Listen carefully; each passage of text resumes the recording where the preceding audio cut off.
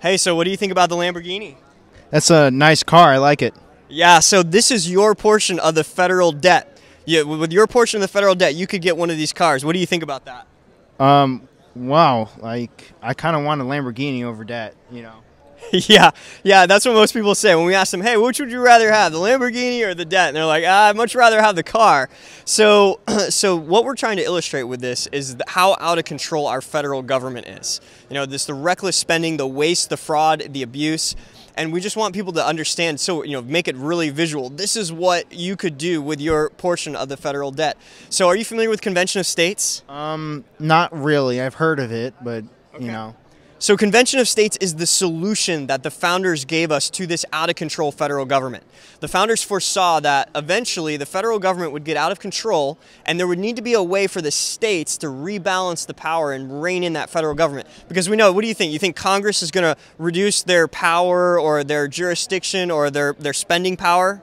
Um, no, because they just want to get elected again and again. Absolutely, yeah. They're, they're not going to reduce their own power. They're not going to reduce their own. We all know that.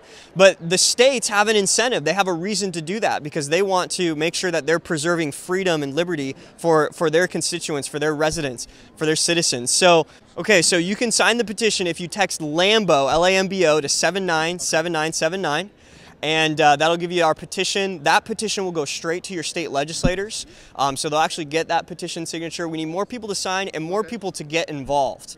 Um, so let me ask you this: Have you ever done anything political outside of voting?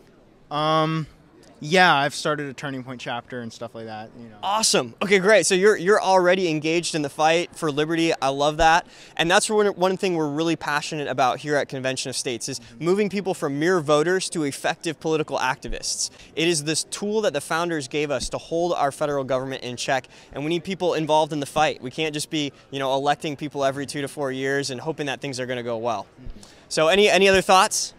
Um, it's really actually really crazy to see actually physically see like how much debt we're actually in. Like every yeah. it, every person can have a lamborghini if we actually yeah split it up. It's that's surprising. Go to conventionofstates.com press the button sign the petition. More importantly get 10 of your friends to do the same. When you sign the petition then that sends a letter to your state legislator. You go on the list in their district as a supporter. We deliver those lists to the state legislators. It means something to them.